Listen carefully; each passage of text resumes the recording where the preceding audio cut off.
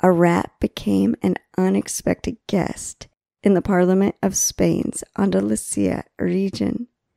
Speaker Marta Bosquet suddenly reacted in surprise when she spotted the rodent inside the chamber during a session on Wednesday last week.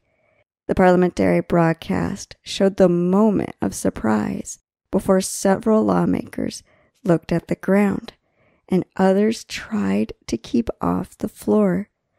Although no picture of the invader was seen, the panic caused in the room left people to wonder how big the rat was. After a few minutes, calm was restored.